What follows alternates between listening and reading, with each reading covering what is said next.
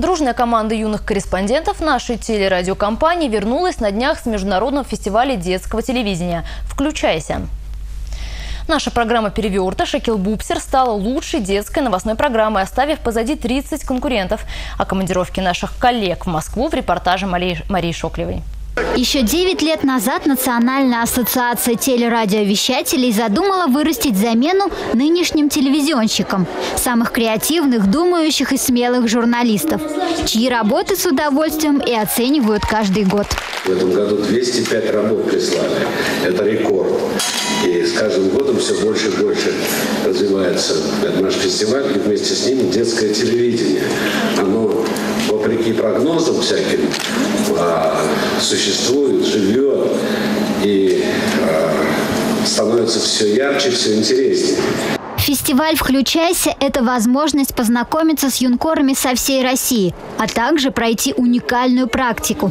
Кажется, что горящие глаза, исписанные блокноты и включенные камеры на телефоне здесь у каждого. Этот робот из Франции. Его зовут Поль. Он художник.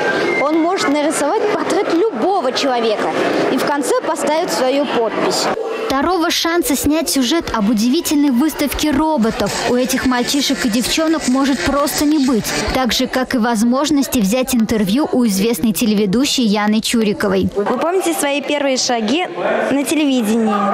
У меня даже сохранилась где-то кассета дома, вернее, у мамы. Я все сделала для того, чтобы она исчезла, эта кассета. Даже пыталась ее размагнитить. Ничего не вышло.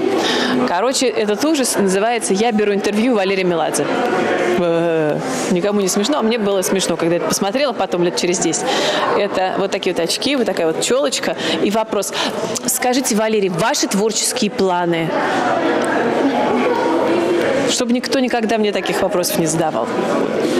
Режиссеры, актеры, журналисты с удовольствием делятся с ребятами секретами профессии. И в один голос объясняют, нужно мечтать не просто попасть в телевизор, нужно стремиться делать телевидение, причем хорошо.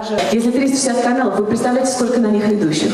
Вы представляете, сколько мощностей требуется для того, чтобы их все произвести? Так что я боюсь, что сказка про Золушку в плане телевидения закончилась. Вряд ли кто-то, правда, сможет прославиться на телеке, если ты, конечно, не исключительный. Фестиваль «Включайся» называют детским «Оскаром». Участие в этом конкурсе бесплатное, поэтому конкуренция большая, а победа солидная. Мария Шоклева, Андрей Шоклев, Республика. Спасибо вам!